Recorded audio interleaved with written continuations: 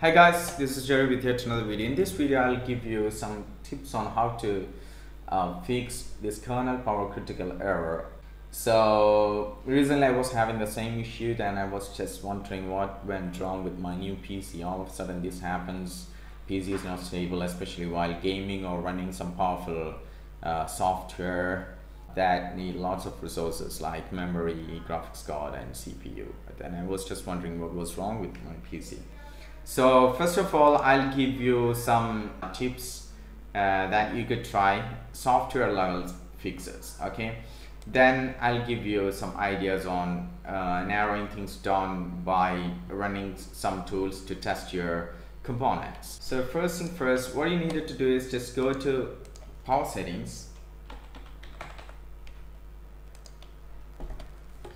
Then change the power settings. Here, turn, turn off the display and put the computer to sleep both set to never, then change the advanced power settings. And on the hard disk option, you see here on the hard disk option, set it to uh, never or zero. Then set it to zero, then click here, then that will uh, turn to never. Then scroll all the way down and here processor, if your PC is desktop, you can actually set it to uh, maximum processor state to 100 minimum processor state to 95 percentage or 100 it doesn't make any big difference. If you set it to 100 percent it will always utilize maximum power and run at its best. So it's better to set it to 95 percentage that's fine. And if you set it to 100 percent there's no big issue. Then apply and save it. Then restart your computer and run the application that caused the problem. Then see if it's still happening. So if it's still happening then go back choose what the power buttons do. By default on windows it's actually uh, fast startup is turn on so what you need to do, do is just change it. Click change and uncheck this uh, checkbox and click save and this could actually fix the problem. Normally it shouldn't cause a problem, sometimes it happens with some PCs. So you can try disabling this and restart your PC and try running the application that actually caused the problem. So uh, change the power plans, you know, like uh, now here I have AMD Ryzen balanced and AMD Ryzen high performance. As my PC is desktop, I set it to Ryzen high performance and uh, my And PSU, I mean my power supply unit is capable of running at, you know, delivering enough voltage to the motherboard and my entire PC is powerful enough to run it high performance. So I have set it to high performance. But if you are having issues with your laptop, maybe you should set it to uh, AMD, if you're running AMD uh, system. So maybe you should set it to AMD Ryzen balanced or you can actually change the plan settings here. Just click this and you can use any of these like power saver ultimate performance or balance. If you're having issues with your laptop maybe try balanced power settings then this could also fix the issue. The next thing you should try is updating your drivers. So if you have recently updated your graphics driver and you're having this issue maybe you should roll back. In that case just type and device manager. And here you can see all the devices and drivers so in this case, if you have recently, you know, updated your graphics driver and click this display adapter and just right click on the driver and uh, click properties and switch to the driver and you should see rollback driver. Try going back to your previous driver, this could actually fix. If you recently updated your driver, you should see this rollback driver and if you don't see that, you should go to your manufacturer websites and download the previous driver and try uh, running the software that was causing the issue.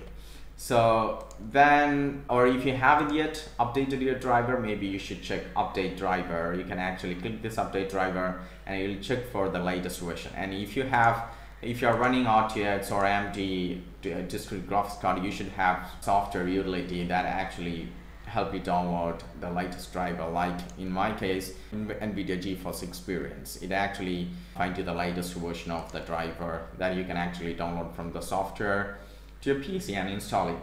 So that's how you do that. So next what you needed to do is type dxdiag and launch it. So it actually check for some driver or graphics driver issues with your PC. So if it finds any problem, it'll actually indicate about it. So it, you can here see that display no problems found. You can actually run this next page like this. Click next page, next page. So if it finds any problem with your PC related to, you know, especially with your graphics card and or other audio drivers, so it'll be uh, shown here. So, so far there's no problem uh, with my PC. Okay, so just click exit. If you don't find any problem here, then click exit. And if you find any drivers on the device manager with yellow or red mark, maybe you should uh, try updating or removing the driver and restart your PC and run the software that was causing the problem. You can also diagnose this, uh, your memory dump file that's uh, dropped when you have this kernel power issue. To access that, you can go to the local C drive and Windows and uh, scroll all the way down, you see this memory DMP file.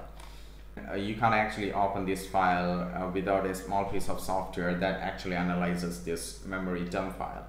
There is also another dump file called mini dump. It's in this mini dump folder here. You won't have access to this folder. It'll ask you for permission. Just going to click continue then you can access this folder. And the, and for these two dump files you need a small application called WinDBG that you can actually download from Windows Store.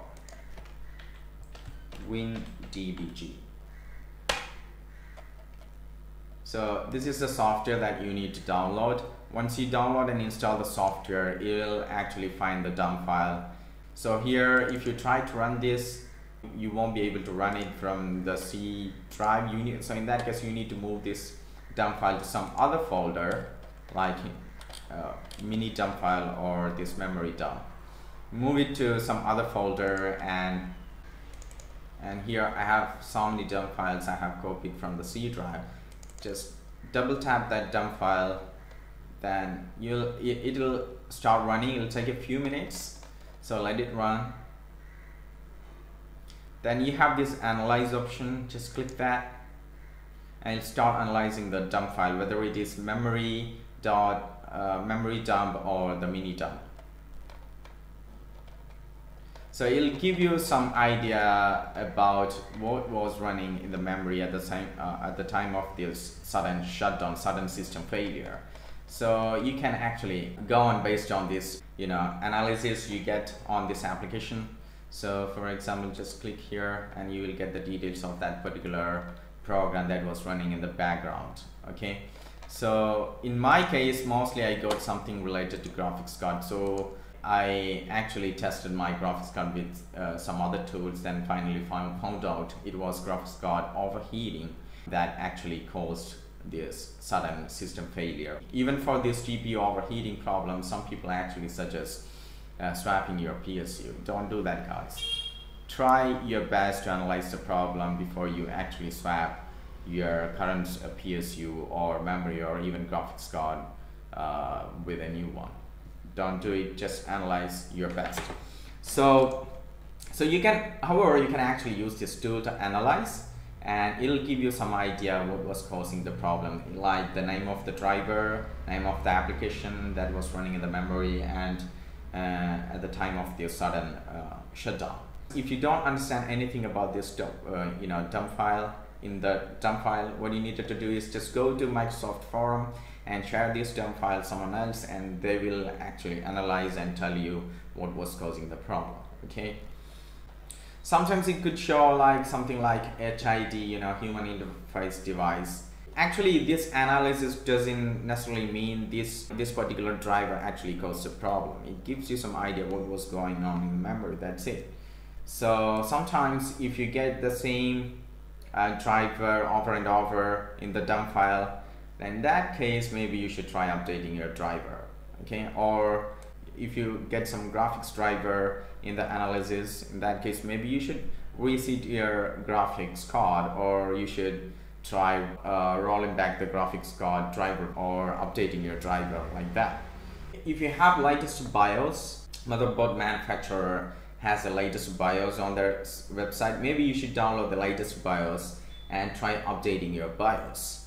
So sometimes some BIOS could be causing this problem, this kernel power issues. In that case, you should try updating your BIOS. And if you think that it has something to do with your hardware, maybe you should start analyzing your hardware. There are some tools that you can use to analyze your hardware. So I'll tell, I'll actually talk about these tools first.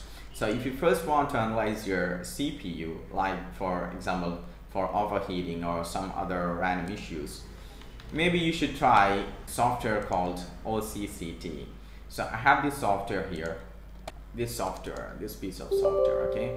I have put the link in the description. You can actually download the software from there. Then run OCCT. You don't necessarily need to install this software. You can just run the software right uh, after you download it.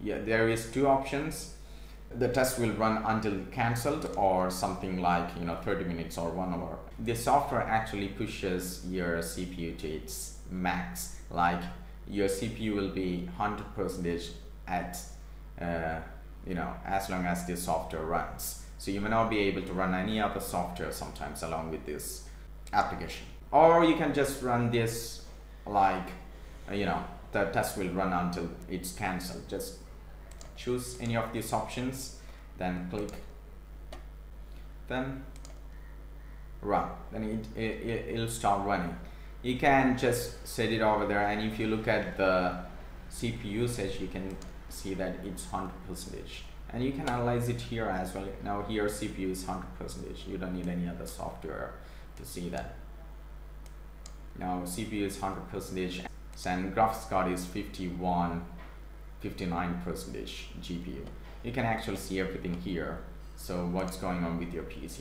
And if you have some tools like this, you can analyze the CPU temperature and you know the load and clock speed and everything here and the fan speed as well. And feel like you know something is wrong with the fan speed or something, maybe you should adjust the fan speed or set it to auto on BIOS settings.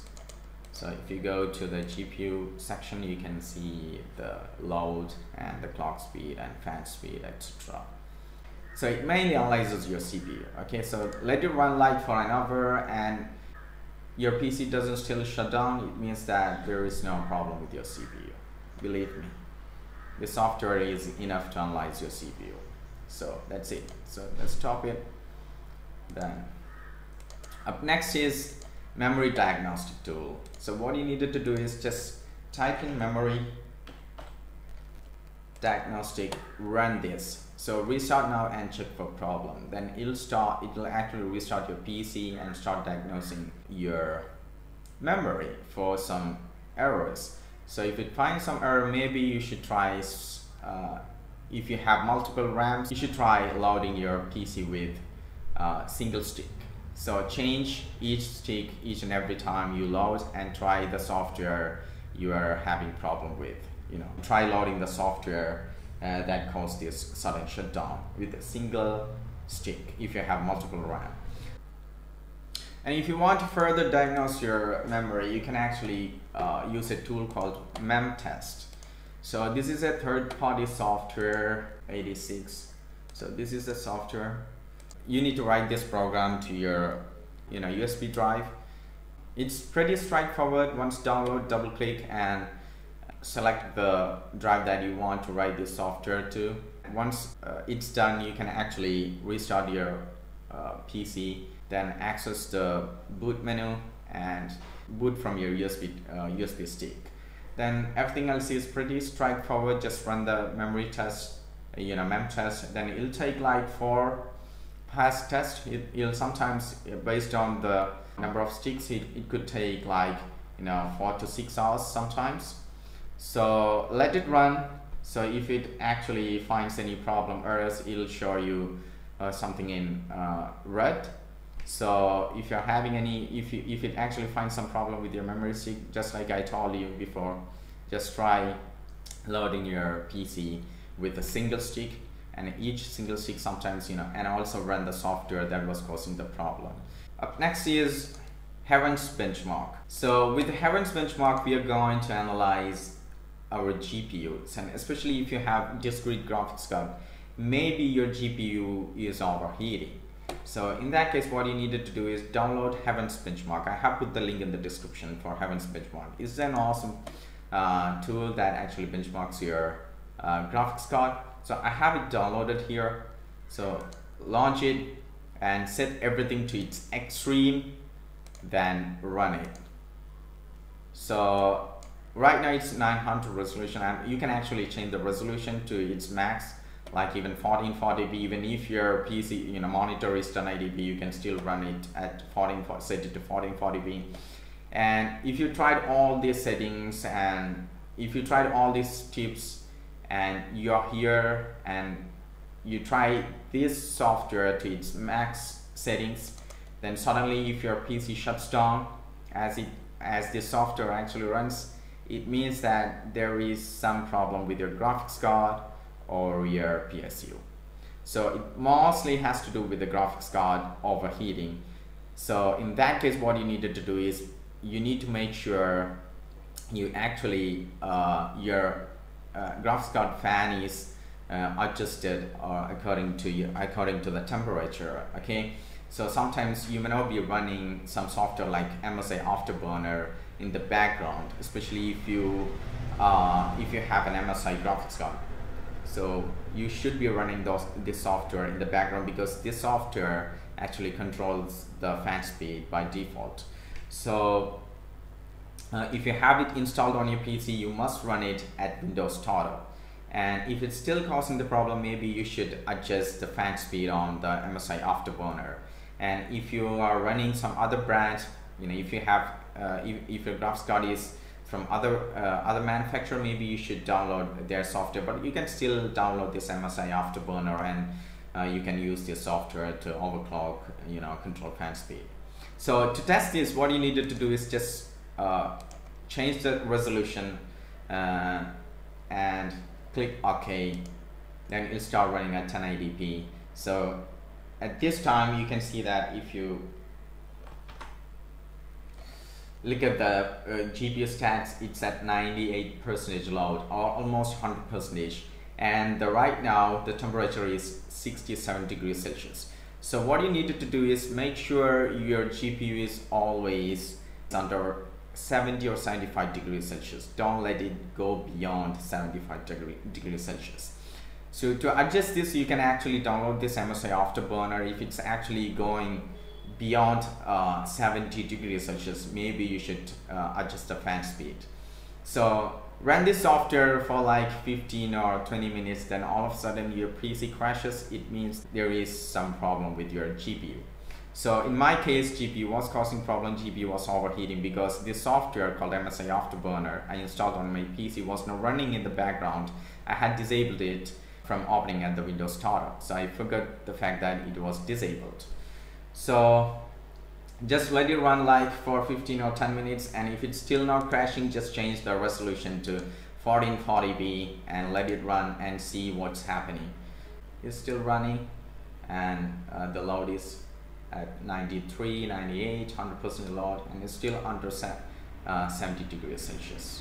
So you can actually use this tool to benchmark your graphics card and test your push your graphics card to its limit.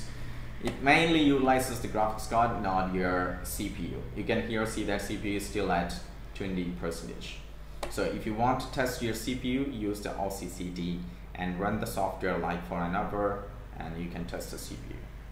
So that's it. And you know, as I told you, if your PC shuts down as you run this software, then you gotta try adjusting the fan speed of your graphics card or resetting your graphics card, uh, making sure uh, your power cable is widely connected and just if you think that there is problem with the power cable just remove it and reconnect it and make sure everything is fine try reloading your PC and the software that was causing the problem and let it run for like 15 or uh, half an hour. And what if uh, your PC is shutting down because your graphics card is overheating? In that case, you need to download a software called MSI Afterburner.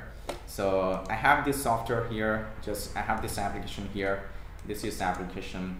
Uh, so here you have several options like you can actually use this application to overclock and you can also use this application to control the fan speed and you can also use this application to on-screen display to see the status of your uh, components so here I'm gonna talk about fan speed so by default it's set to auto and now like this it's by default it's set to auto okay just auto that's it so this software actually automatically adjusts the speed of your fan based on the temperature. So that's how it works. But my address is set it to uh, user defined uh, speed. So to do that, just set it to auto. At the same time, click this gear icon. Then set it to user defined. So you can actually adjust the speed of your uh, graphics card fan. To do that, just click uh, this gear icon, then switch it to fan. And here you have this option. Just uh, check this checkbox, enable user-defined software automatic fan control. And here you can use this curve editor to uh, adjust the fan speed. In my case, I have set it to like, you know, at 75 degrees Celsius, the fan speed will be at 90 percentage. In this case, even if you overclock your GPU, the, your GPU will still be under 70 degrees Celsius, just like you saw that when I was running Heaven's Benchmark the it was on 100% load and uh, GPU was still under 70 degrees Celsius. Uh, at 90 degrees Celsius, the, the, the GPU fan will be at 100%. So you can actually make a curves like this. So it'll actually make sure the GPU uh, stays as cool as possible. Then once you set it, just click apply, then click OK. So that's how you do that. Worry about it. Then, then click OK. Then after you set it, just click apply that's it so from now on your fan speed speed will be adjusted based on the temperature as well as uh, the curve that you defined in the uh, settings. So make sure you enable this option as well to enable that. Just this is a user defined option. Just this disable now enable it. That's how you do that. And at the same time make sure it's set to auto. Otherwise it will always run at 80 percentage or 90 percentage. That shouldn't be the case okay? Then click apply. So in most cases it should fix your problem. And at the same time make sure this software actually runs at Windows startup. To do that just click settings and here you can see that start with the Windows check this checkbox and start minimized so it will start minimized. And whenever you adjust some settings and stuff you just automatically click this X mark right don't do that. If you click that close button it'll completely close. It won't be running in the background. Just click this minimize button. So it will uh, stay in the tray. So you see here. So that's how you do that. So and if you still have problem maybe you should try uh, changing your power supply unit. Maybe it has to do with your power supply unit. In that case make sure everything is its uh, cables are connected properly and restart your uh, PC and try launching the application that was causing this kernel power sudden crash then if you're still causing the problem maybe try swapping the PSU and try launching uh, the application that caused the sudden uh, system failure so these are the some tips I wanted to share with you. I hope this actually helps. And sometimes, you know, even resetting uh, GPU or resetting your CPU fan could actually fix this problem.